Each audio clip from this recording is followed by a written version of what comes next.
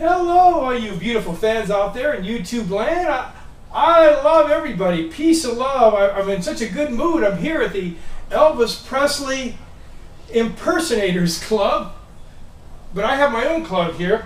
UCLA, you probably think you know what it means, but you don't.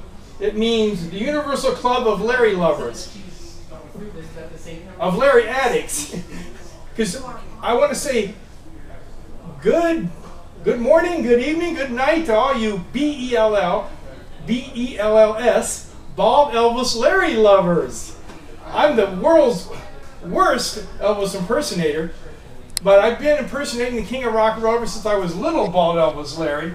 I used to run around the house singing songs. Mom said, Son, if you don't stop that singing, you little Elvis, I'm going to snatch you bald headed. Well, she did. That's how I got my name.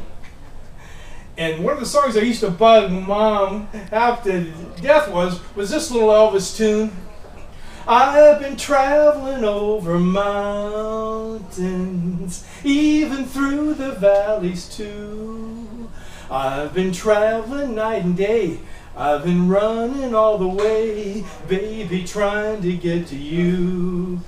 Ever since I read your letter, then my heart began to sing. There were many miles between us, but they didn't mean a thing.